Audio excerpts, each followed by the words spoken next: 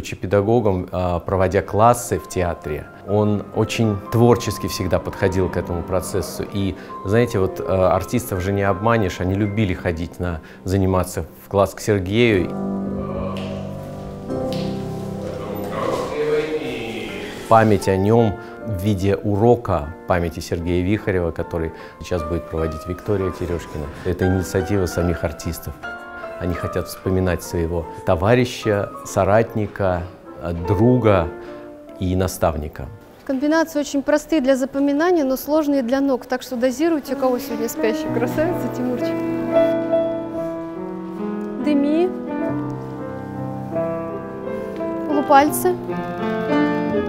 Еще дыми-пле. Полупальцы.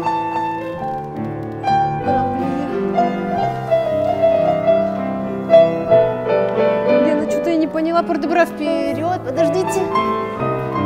Сергей, конечно, продолжил традицию класса легендарных педагогов Мариинского театра. Эти педагоги, которые отвечают там, за методику, за правильность и чистоту исполнения, они передают из поколения в поколение высочайший уровень владения классическим танцем. И в театре нас так и стали называть класс Вихарева. Эти классы отличались особой сложностью и нацелены были на гиперформу, постоянное такое совершенствование. После них, конечно, ты там ходил такой еле живой, это все время как будто ты сдаешь такой госэкзамен в школе. Но ты был уже был готов не только там, к репетиции, но и к любому спектаклю, к любой хореографии. То есть твое тело уже было в невероятном таком тонусе, это очень хорошо закаляло.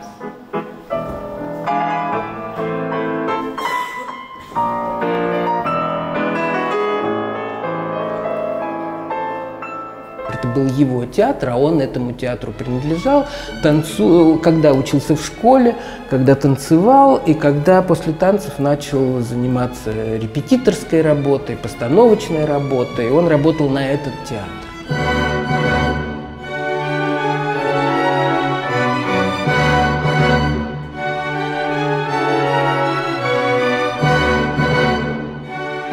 Высочайший вкус был, и этот вкус он насаждал нам. То есть у него нельзя было сделать как-то вот не так, как что резануло бы его самого. Какой-то очень особый острый ум, искрометную колкость, точность, меткость комментариев. Да и чувство юмора в целом. Его комментарии, иногда даже очень злые, даже вне этического поля, они меня всегда восхищали. Особенно своей точностью и моментальностью. Он обожал Олесю. Вот это что первое про педагогическую деятельность, мне хочется сказать, что он обожал Олесю. А, я как раз вышла после рождения первого своего ребенка. У меня не было, у меня не было педагога. Те люди, которым я доверяю, предложили мне кандидатуру Сергея Геннадьевича вдруг неожиданно, потому что мужчина, я женщина. Как-то это ну, совершенно, ну, такого раньше не было.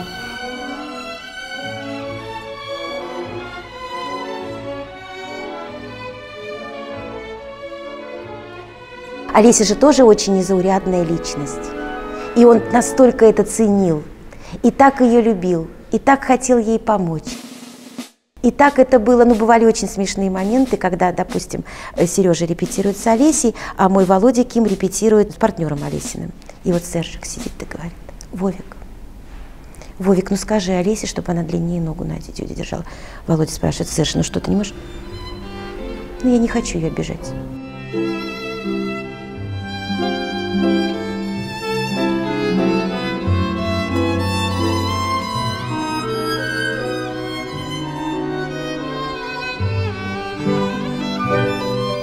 Я даже не задумывалась, я знала, для кого я иду в театр. Я шла именно для него.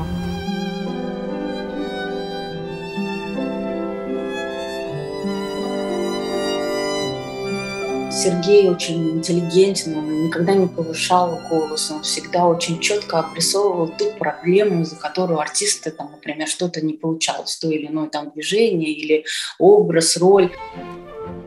Это было настолько профессионально и подходы к артисту, к его особенностям. особой строгости, оценки и страха, как обычно бывает у этих педагогов, входя в зал, как раз-таки вот у Сережи мы его не испытывали. И Вихарев создавал атмосферу семьи. Но он не давил на людей, которые с ним репетировали, ну так скажем, на его учеников. Нет, он пытался э, помочь им, от, отредактировать их. Он, он любил их редактировать. Он все-таки хотел, чтобы они шли впереди.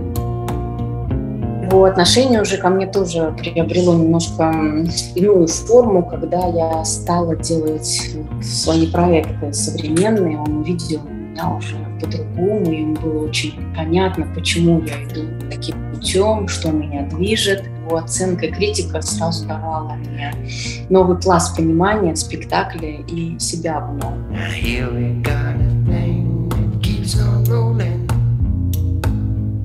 От них импульс должен был идти, а он им помогал в этом импульсе. Он никогда не запрещал, говорил, нет, ты не иди налево, а иди направо. Хочешь пойти налево, пойди. Давай посмотрим, что получится. И Сергей Ильич меня пытался уговорить, сказать, что нет, э, танцовщик должен развиваться. И не только классику. То, что он сам и делал, он искал постоянно какое-то самовыражение вне стен Мариинского театра.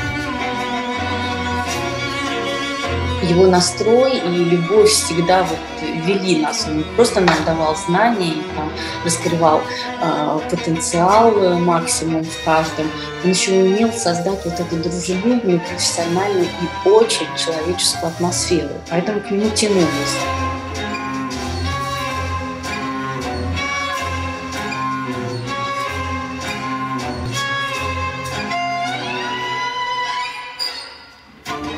Я никогда по-настоящему не мог его прочитать и понять, что там внутри у него происходит. Я, будучи в Питере, он пригласил меня встретиться и пойти вместе в ресторан. Я был тогда в каком-то очень эйфорическом настроении, сверхвеселом, что-то шутил, э, идиотничал, э, клоунировал. Э, Сережа как-то не подключался к этому, он не улыбался, он просто молчал или что-то так резко э, комментировал. Внезапно, закончив какое-то блюдо, полностью закончив блюдо, он невозмутимо положил приборы и сказал, оставайся тут дальше один. Встал и ушел. Сережа был очень хрупкий. И это понимали люди, которые его любили, ценили и знали, это понимали. Не спросила, не, не поделилась, не рассказала, не похвалила. Это очень много всего. Конечно, сегодня мне очень не хватает его совета, его взгляда. Постоянно ощущаешь какую-то некую пустоту, которую он заполнял в моей профессиональной жизни.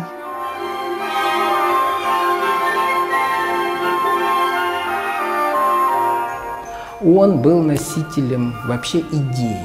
Он был один из редчайших людей, который фокусировал в себе саму художественную идею Мариинского театра, Мариинского балета.